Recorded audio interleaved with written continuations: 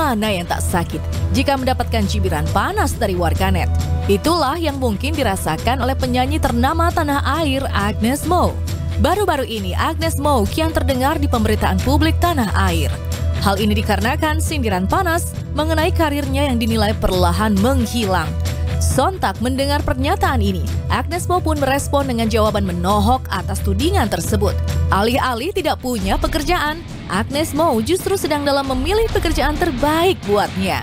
Bagi Agnes Mo, perlu rasanya memberikan jawaban ini bagi orang yang membencinya, agar tidak terjadi lagi hal serupa.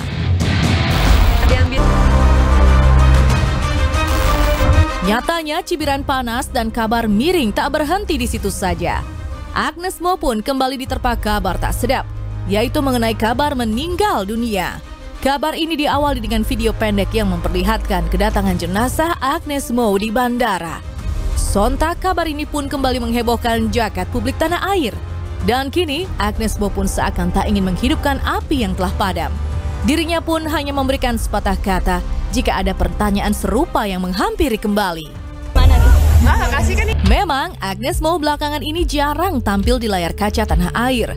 Hal ini bukan karena tak ada pekerjaan, namun karena ia sedang fokus untuk mengerjakan beberapa proyek. Sebagai musisi pun Agnes Mo selalu mensupport dunia musik tanah air.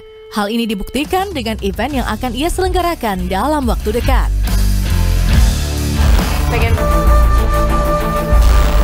Berjiwa sebagai pegiat musik, Agnes Mo tentu akan terus berkarya. Inilah ciri khas dari seorang Agnes Mo. Dirinya pun tak menampik akan terus berjuang di puncak popularitasnya dengan segala kemampuan yang dimiliki.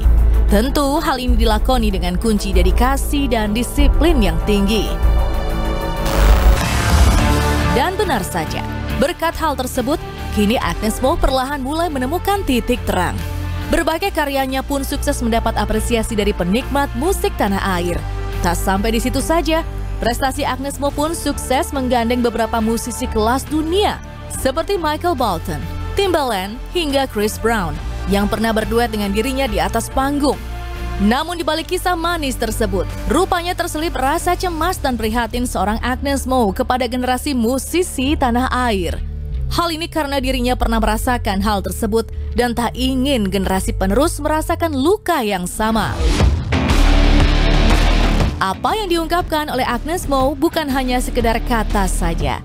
Dirinya ingin melihat generasi penerus untuk mengejar mimpi mereka.